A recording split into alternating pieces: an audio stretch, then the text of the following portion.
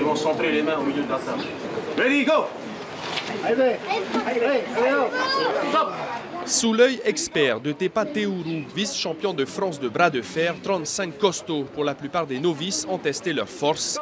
Les bras d'acier de plusieurs ferristes locaux, dont trois vétérans, ont offert de belles batailles à un public venu nombreux au parc Paofaï. Tahiri, 33 ans, est ici un peu par hasard avec trois de ses proches, sportifs comme lui.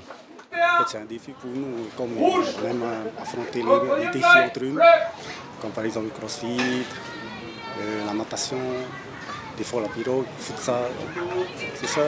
Aujourd'hui c'est pour le bras de. Là on a concourir pour aller en finale. J'espère atteindre la finale. Les batailles les plus disputées font souffrir les muscles, les tendons, les articulations sous tension pendant plusieurs secondes. Une masseuse était donc là pour tenter de limiter les dégâts. Quand la personne a besoin, ressent le besoin, euh, ressent les contractures qui lui font mal, euh, entre deux, il peut venir pour que je, je le prépare pour le prochain, son prochain passage. Aujourd'hui, des poids lourds, plus de 110 kg, au plus léger, moins de 80 kg, chacun a voulu montrer sa force. Mais au bras de fer qui tente de renaître en Polynésie, certains paraissent tout simplement imbattables.